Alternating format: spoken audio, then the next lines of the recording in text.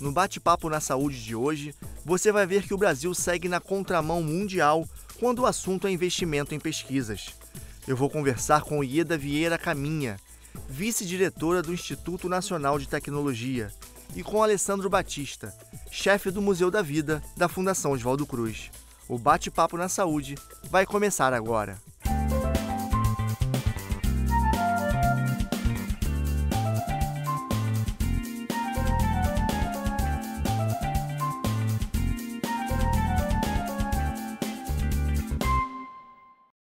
Ieda, muito obrigado pela sua presença aqui na Fiocruz, no Bate-Papo na Saúde. É um prazer estar aqui, Paulo, com vocês. Ieda, você hoje é vice-diretora do Instituto Nacional de Tecnologia, mas já tem 41 anos de experiência na área de ciência e tecnologia, é uma pesquisadora. Como é que você avalia hoje o cenário da ciência e tecnologia no país? Hoje a gente está numa crise econômica, cortes de investimento, cortes orçamentários. Como é que você avalia esse cenário? É com imensa pena que a gente vê, né, nesses últimos dois anos, o cenário tão é, degradado, assim, com pouco investimento, né? E eu, nós tivemos uma, um, um, período muito bom, com muitos editais, com muito investimento. Então, modernizamos muitas as infraestruturas laboratoriais, tivemos muitas pesquisas de ponta. E hoje o que a gente nota é a dificuldade até de pagar a manutenção dos equipamentos de laboratório. Então está sendo muito difícil para os grupos de pesquisa do Brasil, seja de instituições como a nossa, né, que é o Instituto Nacional de Tecnologia, seja de uma universidade, todos os grupos que os pesquisadores se falam muito estão sentindo a crise, né? Então você investe, monta um laboratório com equipamentos é, realmente ultramodernos para competir, né? Com os outros países do mundo e você fica frustrado na hora que você não consegue fazer uma manutenção, de repente, corretiva, um aparelho que deu defeito, e isso interrompe a sua pesquisa. Né? Isso tem um impacto né, direto, eu acho, no país, né, no que a população pode se beneficiar. Então, eu, eu é com muita pena que eu vejo é, esse cenário hoje de ciência e tecnologia no país. E, Eda, no momento de crise né, que o Brasil está passando, crise econômica, é, a direção é essa mesmo, cortar investimento em pesquisa, em ciência e tecnologia, ou a gente vai na contramão dos países em, de, em desenvolvimento? Não, eu entendo que nós estamos indo na contramão. É, a gente tem exemplos de China, Coreia, outros países que investiram quando estavam em crise, tentando reverter esse quadro e dar um futuro melhor para a sociedade. Então, eu acho que o Brasil está indo na contramão, eu acho que não vai ter resultados bons disso a, o corte não pode ser linear, ele tem que ser enxergado em que setores isso vai impactar. Eu acho que nós já temos hoje um grupo de pesquisadores enorme no país que poderíamos estar competindo a nível de outros países desenvolvidos e esse corte veio realmente desmotivar e conheço muitos colegas que estão deixando o país por conta disso. O que é uma grande pena, que a gente vem no movimento de construção né, dessa área nos últimos 10, 15 anos, a gente vem num crescente agora os grandes cérebros também deixando o país. É, é, uma grande pena. Essa evasão de pesquisadores, evasão de pesquisadores vai gerar um grande déficit aí para gente. Né? E fora que também a gente já está perdendo por conta de aposentadorias, por conta também da reforma da Previdência, então juntou ah, o corte de ciência e tecnologia, então a gente só perde nessa área, né? em termos de pessoal e de, e de investimento. Então está muito difícil tocar as instituições dessa forma. E como é que está a questão das bolsas, de incentivos a fomento à pesquisa? Também houve é, um, um corte temos, grande. É, lá no, na instituição, no INT, nós temos é, bolsistas apoiados do CNPq pelo programa PCI, que é um programa, programa do nosso Ministério da Ciência, Tecnologia, Inovações e Comunicações. Nós conseguimos, né, através de um aporte especial, o Ministério manter os bolsistas nas suas unidades de pesquisa. Isso está garantido até janeiro, mas nós não sabemos como é que isso vai acontecer. Não houve ampliação, nós continuamos com o mesmo quadro e muito preocupados com a descontinuidade, porque esses bolsistas atuam diretamente nos nossos projetos de pesquisa e são em grande número, muito maior do que o número de servidores que estão coordenando essas pesquisas. Então, se a gente tiver como está previsto um, um, corte no orçamento grande para o ano que vem, nessa área vai ser também uma coisa muito difícil de continuar com as nossas linhas de pesquisas atuais. E o Instituto Nacional de Tecnologia, vamos dizer que ele também presta serviço para a área da saúde, né? É, esse qual o impacto para o Sistema Único de Saúde, para a saúde pública, desse corte na área de ciência, tecnologia e de pesquisa? É, em relação à saúde, no INT nós atuamos tanto na parte de avaliação da, da conformidade de produtos para a saúde, por exemplo, a gente trabalha em, em produtos que impactam diretamente a sociedade, que são motivo de certificação compulsória no país, como implantes mamários, luvas, preservativos. É, e, e, esse tipo de, de produto, né, a sociedade tem, tem um impacto direto, né? E a gente na hora que você tem uma crise, uma, uma, um pouco investimento, até para a manutenção desses laboratórios das equipes fica difícil de você estar tá testando em grande quantidade esses produtos. Né? É, também atuamos com implantes ortopédicos, instrumentais cirúrgicos, são implantes ortopédicos têm um impacto enorme né, no Sistema Único de Saúde, porque o grande comprador do Brasil é o governo, é o SUS. Então, nós temos não só serviços, mas também grandes projetos de pesquisa. Dentre os que eu destaco são os voltados à avaliação da tecnologia de fabricação de próteses de quadril, que é uma coisa bastante usada no, no sistema único, né? Então, é, esses cortes né, de investimento, a gente hoje só tem um projeto em andamento, aí, financiado pelo Ministério da Saúde. Estamos agora negociando um novo é, de joelho também, em parceria com a Universidade Federal de Santa Catarina. Entretanto, a gente se preocupa muito com a questão da continuidade dessa pesquisa, porque ela de fato tem um impacto direto nos hospitais públicos. Né? E qual o investimento hoje da iniciativa, da iniciativa privada em pesquisa, em ciência no país? Olha, a gente entende ainda que é muito ainda é, é baixa essa aproximação da iniciativa privada com os institutos e com as universidades. A gente tem um programa de governo, né, vários com incentivo de inovação, e o último que a gente faz parte é o sistema Embrapi, que incentiva essa inovação, onde a empresa ela entra com um terço dos recursos de um investimento é, é, do projeto, é muito interessante, o governo entra com um terço, a instituição entra com a contrapartida, mas mesmo assim é, houve um salto esse ano grande em termos da, das unidades que contrataram projetos nisso, mas ainda acho que poderia ser mais. E principalmente na área de saúde, que é uma área que eu acho que, que a população é tão sensível a isso, né?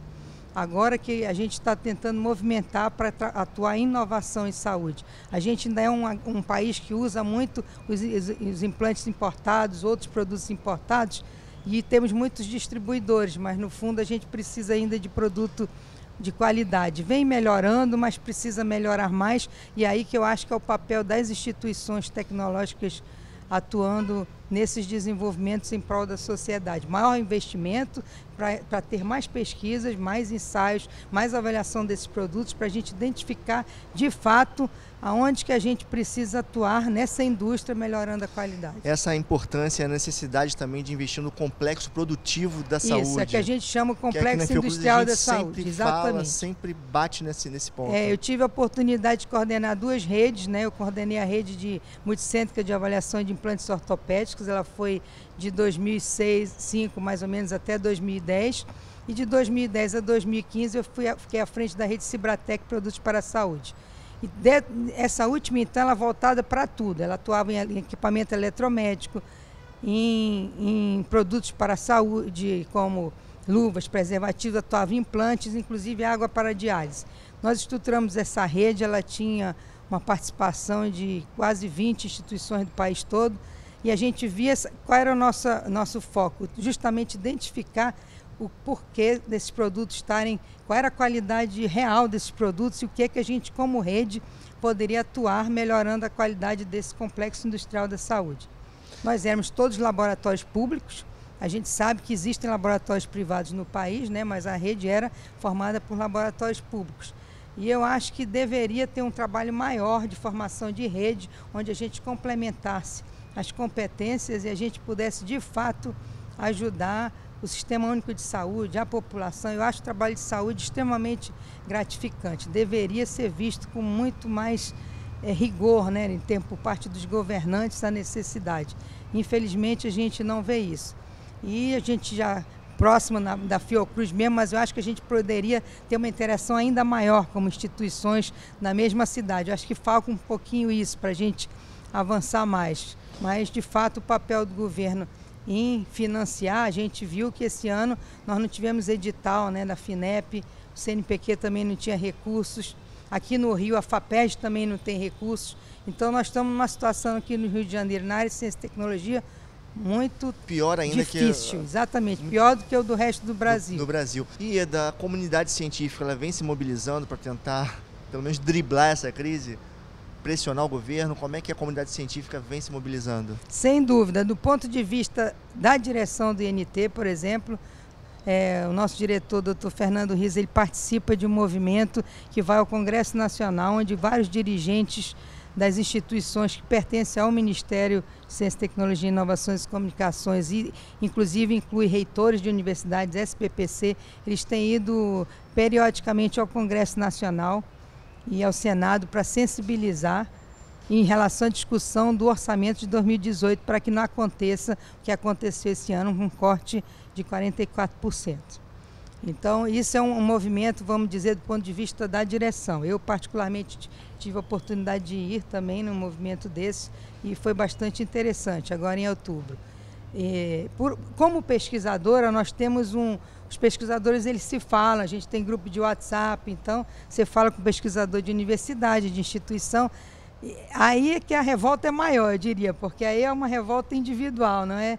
Principalmente nem institucional, nem né, institucional, né? Crise, né? E aí, de novo, a gente no Rio tem o problema da UERJ, então, querendo ou não, vários amigos nossos são professores da UERJ, então, os pesquisadores, eles trocam muita, muita figurinha em relação à crise, e aí a gente vê que tem gente querendo sair do Brasil, eu já acho que a gente tem que ficar para ajudar a construir, cada um tem uma maneira de ser, né?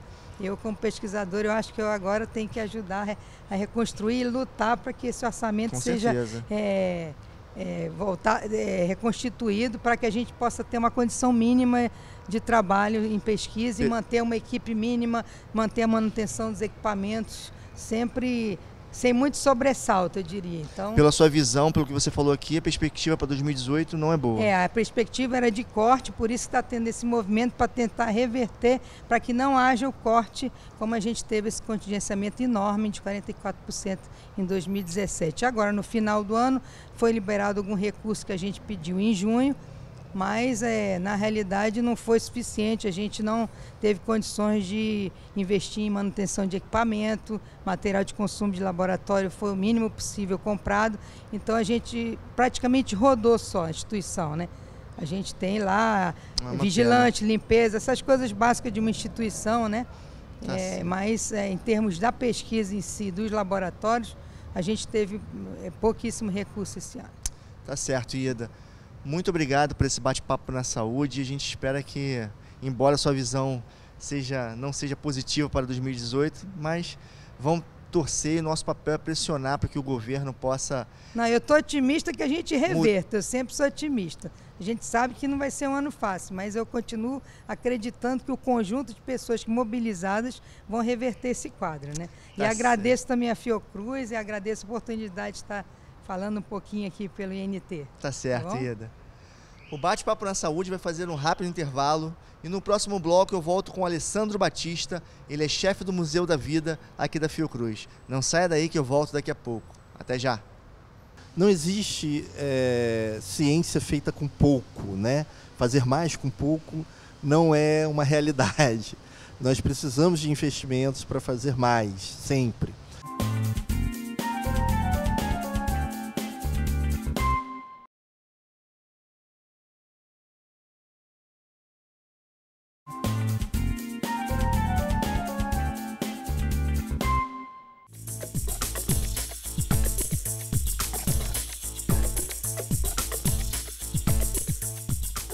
Bate-papo na saúde sobre ciência e tecnologia está de volta. Agora eu vou conversar com o Alessandro Batista. Ele é chefe do Museu da Vida aqui da Fundação Oswaldo Cruz.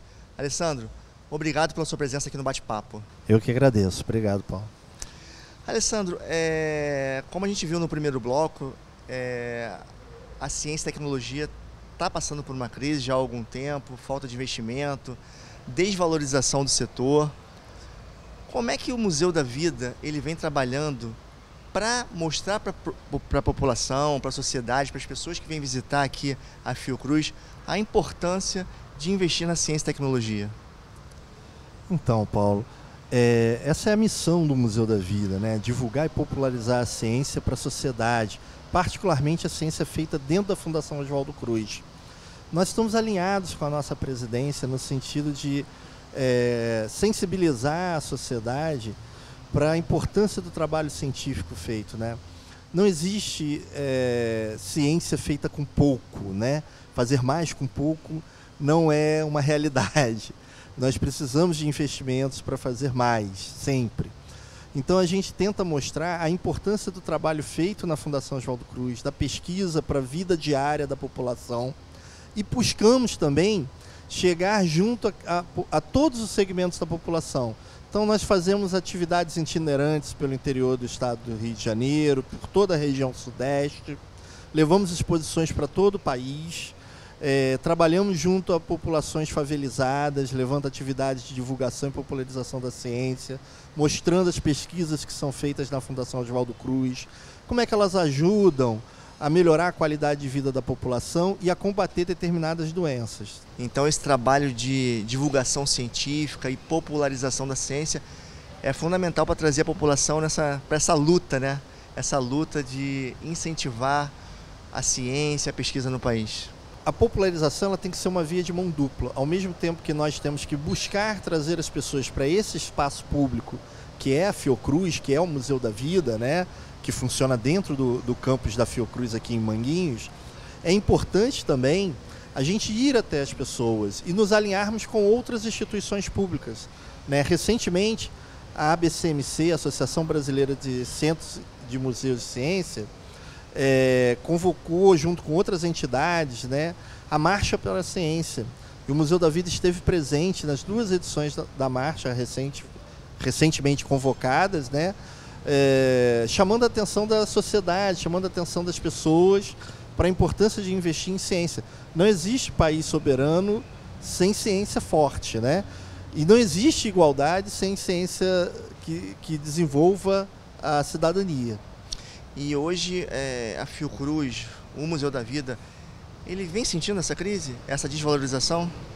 Sim, eu acho que isso é comum a todo o serviço público, nós não estamos imunes. A Fiocruz tem alguns mecanismos legais que a protegem, pelo fato de ser fundação autárquica, uma instituição centenária com renome internacional, tem parcerias internacionais e nacionais muito sólidas, consolidadas, que nos resguardam. O Museu da Vida também, porque seguimos o exemplo da instituição. Mas é, isso não é o suficiente. Né? O, a crise é muito intensa e gente, todos nós estamos sentindo fortemente essa crise e estamos buscando soluções, né, parcerias, é, convênios com outras instituições, públicas no país, porque nesse momento de crise é a nossa união, a união de quem trabalha para o público, né, para o serviço público, que, que vai mostrar a solução da crise, a solução dos problemas. E hoje também acontece uma situação em que muitos pesquisadores, muitos cientistas estão deixando o país para estudar em, é, fora do Brasil, realizar pesquisa em outros países fora aqui do Brasil. O Museu da Vida também tem esse papel de incentivar novos pesquisadores, incentivar é, pessoas, crianças, adolescentes, né, para uma carreira profissional dentro da área da ciência? Sem dúvida. É, tanto com os jovens estudantes de ensino fundamental, de ensino médio, universitários, que nos visitam né, no museu, que se encantam com os experimentos quando vêm aqui, se encantam com as exposições, é, se encantam com, com o nosso borboletário, que é o único borboletário do Rio de Janeiro em funcionamento. É, todo esse trabalho que nós fazemos aqui, ele é um trabalho que ajuda a sensibilizar os jovens para a possibilidade de uma carreira científica, por que não, né? Mas também nós trabalhamos intensamente com programas de jovens que atuam no museu. Então nós temos um programa de iniciação à divulgação e popularização da ciência com jovens universitários, né? São jovens que atuam na visitação do museu, né? Eles atendem outros jovens. Então é um momento em que as pessoas descobrem uma maneira diferente de se relacionar com a ciência. E um segundo programa que nós temos aqui é com jovens de ensino médio de escolas públicas aqui do entorno. Né? O entorno da Fiocruz é, o, é cercado por dois complexos de favelas, né? o complexo de Manguinhos e o complexo da Maré. E nós temos uma parceria aqui, um, um programa, né, que é o Procultural, onde nós atuamos junto com jovens de escolas públicas de ensino médio desses territórios. Eles vêm aqui, fazem um curso conosco e se habilitam a serem auxiliares de produção cultural e divulgação científica. Então é, é já é um, é incentivo para que a gente possa renovar e ter uma nova geração de pesquisadores, né? porque hoje essa geração está ameaçada. Né? É verdade. Nós temos exemplos práticos. Eu mesmo conheço duas, duas, é, duas moças, né? Que foram jovens aqui, uma, uma estudante universitária que está tá terminando o doutorado dela aqui no, na fundação, né? E ela começou aqui nesse programa de, de jovens universitários do museu. E uma outra que também está começando, essa está começando o doutorado, que foi desse curso de jovens de ensino médio aqui do entorno, conosco, que saiu, se graduou, voltou, fez estágio e hoje está fazendo o doutorado dela. É muito gratificante. A gente tem casos de que o nosso trabalho frutifica efetivamente. Em outubro nós tivemos a Semana Nacional de Ciência e Tecnologia, né? o tema foi a matemática está em tudo. Como é que o Museu da Vida, como é que a Fiocruz participou dessa semana? Então, a, a Semana Nacional de Ciência e Tecnologia né, é uma política pública que, patrocinada, né, originada no Ministério de Ciência e Tecnologia desde 2004. Que hoje já não existe mais esse ministério. Não existe mais, exatamente, frutos dos novos tempos. Né? É, esse, esse trabalho, essa política, ela começou em 2004, 2005. A Fiocruz participou de todas as edições da Semana Nacional. É um momento em que as instituições de pesquisa do país estão de portas abertas para a sociedade, mostrando seus trabalhos aqui relacionados, né? E na Fiocruz, o Museu da Vida sempre foi protagonista junto com a presidência, porque nós já recebemos o público. Então, Sim, a gente, claro. na realidade, chama os pesquisadores para, junto conosco, o Museu da Vida, dialogar com os jovens que vêm aqui nos visitar. Isso envolve mais de 300 pessoas, pesquisadores, técnicos de laboratório. É o momento em que a Fiocruz mostra as pesquisas científicas que é feita para a sociedade. Então, assim, é, é muito gratificante. É o momento que a gente dá o retorno para a sociedade e fala Sim. da importância da ciência para a vida das pessoas, né? Então, eventos como a Semana Nacional, eles são importantes, são feitos em outros países, é, eventos muito parecidos com o nosso aqui, né? E a Semana Nacional ela é um, um exemplo de, pro, de pro, política pública bem sucedida pra, na área da divulgação da ciência. E a matemática está em tudo. Está até na área da saúde também? Também. Era um desafio quando veio esse tema, nós falamos, poxa, e agora? Nós da área de saúde, como é que vamos fazer? E aí a gente sempre tem uma primeira reunião prévia de chamada né, dos pesquisadores. E qual foi a nossa surpresa, né? Assim, a surpresa do Museu da Vida, né? Quando nós fizemos a chamada e ela está em tudo mesmo. ela está em todas as pesquisas, quase todo mundo, de alguma maneira ou de outra, lida com a matemática no, na, na, no dia a dia da sua pesquisa. E hoje a exposição temporária do Museu da Vida é Oceanos. Fala um pouco dessa exposição.